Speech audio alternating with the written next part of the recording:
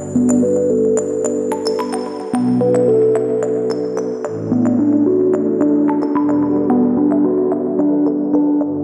guys, so I have a quick get ready with me video for you today and I have a handful of products that I've never used before so um, I'm going to do this kind of as like a voiceover talk through type of get ready with me. That way I can let you know my first impressions on a lot of these products that I've never tried before. I have some makeup products and some brushes that I've never used before. So I'm really excited to do this today. So if you want to see my first impression on these products and also how I got this look that I'm wearing today, then just keep on watching. Duh. I'm already primed and moisturized, so I'm starting out with this NYX Color Correcting Palette to conceal my under eye circles. Then next I'll be going in with the Makeup Forever HD Foundation. And the first impression product that I'm starting out with today is Zoeva brushes. This is the number 102 Silk Finish foundation brush. And my first impression of this brush is, I love it. it has synthetic fibers. Normally I would prefer a flat top kabuki, but this is the one that came in the brush set that I got, but I couldn't be happier.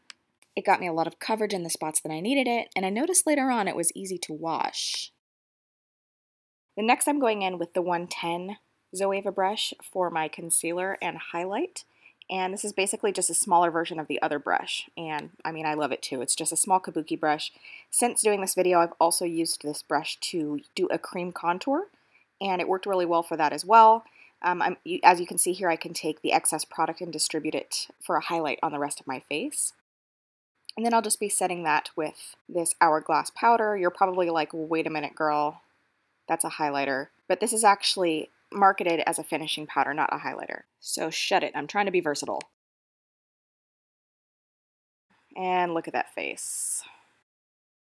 So getting back to it, I will be using this Becca Opal Shimmering Skin Perfector as a cheekbone highlight. And I'm actually using that same brush, the number 110, I believe it was. And I just squeezed the product directly onto the brush and began stippling it onto my cheekbone. Works really well for this. It makes it so I don't apply too much highlighter. And then once again, I could just take the excess and apply it other areas. And a lot of times with a cream highlight, I like to set it with either a translucent powder or another highlighter. And I did just upload a brow tutorial, so I'm not going to go too far into my technique, but this is the 317 Wing Liner Brush, and I'm going to use this for my dip brow. My impression of this brush is that the bristles are very thin, and it's angled in such a way that it forces you to put your hand in the correct position, so I do like it. Then, of course, I always finish with clear brow gel. And then next, just because all of these brushes came in a set, I didn't want to leave any out. I'm just going to use this powder brush to soften everything that I've applied so far. And yes, of course, I love it. I love all of them. now I'm taking an even smaller version of the first brush that I used. This is the 142 Concealer Buffer, and I'm applying my paint pot with this as my eye primer. Since filming this, I've also used this brush for nose contour, and it worked really well for that. Next, we're busting out the Kat Von D Shade and Light Eye Palette. I'll be using this lighter shade as a transition shade and this deeper brown shade to deepen the crease. And this is actually a Morphe brush. This one's not Zoeva.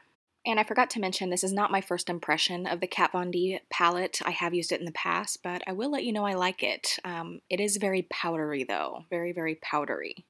At any rate, my next first impression is this shade Amber from Anastasia. This is from the new summer collection, and it is a titanium shadow, and it's very, very creamy, so it applies better with the finger. I am in love with this color. It's one of their titanium shades, so it's very luminous and perfect for summer. Just quickly highlighting my inner corner with this white Morphe shadow, then I'll be using this other fluffy Zoeva brush to apply this dark brown shade on my crease. And this brush is smaller than like the MAC 217 or the Sigma E25. It's very flat on one side and fluffy on the other, so you can see me like switching it back and forth to blend and get deeper in that crease. And this is just the perfect blending brush. It's like the perfect size. Now here, this is the Petite Crease Brush, which is basically just a large fluffy pencil brush, and I'm using that to get shadow more precise, like in the outer crease where I'm starting to wing it out there on the outer corner, and also apply it to the lower lash line. I think I like this brush even better than the other one. And I cannot pronounce any of these eyeshadow names, so I'm not even going to try, but I'm using this bone colored shadow just as a matte brow bone highlight. Now, my impression of this Mario Badescu Rosewater Spray is that it is completely unnecessary, but it smells great and it feels really, really refreshing when you spray it on the skin.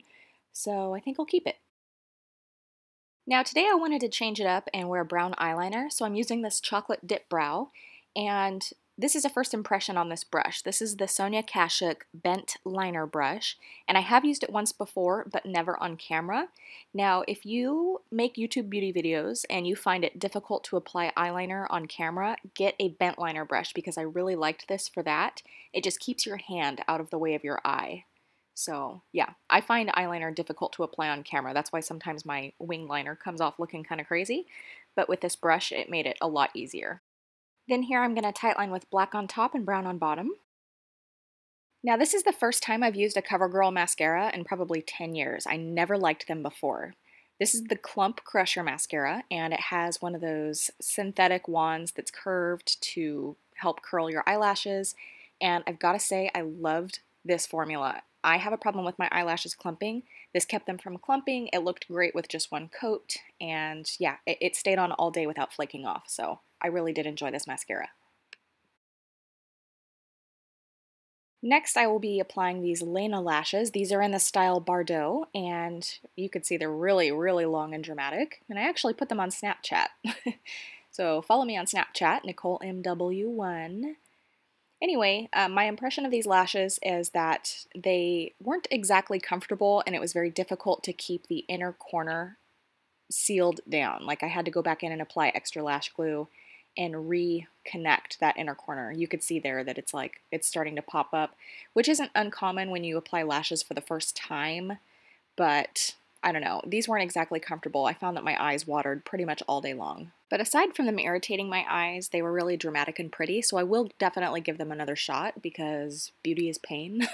now this one is not a first impression product. This is the Makeup Forever Pro Bronze Fusion, and I'll be applying this with my Sephora 46 bronzer brush with a short handle and this brush will bronze your ass in half a second. The bristles are so dense.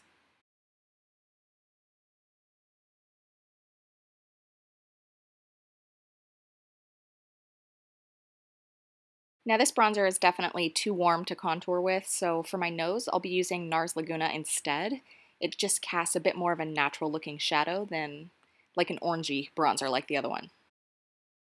Now for blush, I'll be applying Matte Cantaloupe, and this is the 127 Luxe Sheer Cheek Brush from Zoeva. Yes, girl. This brush, okay, I don't want to say that this is my favorite brush. I think my Marc Jacobs blush brush is probably my favorite of all time, but using this brush, the, the bristles were just so long and fluffy, and it just made applying the blush enjoyable. Look how much fun I'm having. Look at it. Then just to make sure everything blends nicely, I'm going back in with that big fluffy powder brush. And this is a first impression of this lip gloss. I have others of this line, but I've never tried this color until now.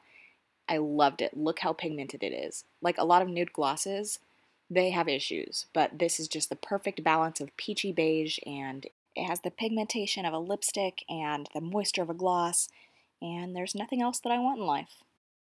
So that is it for this makeup look. It is now time to do something with this wild ass rat's nest on top of my head, and I will be right back.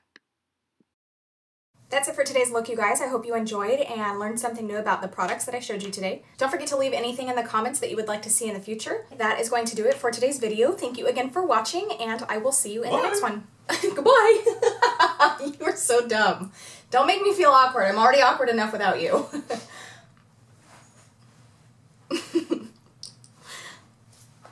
Bye.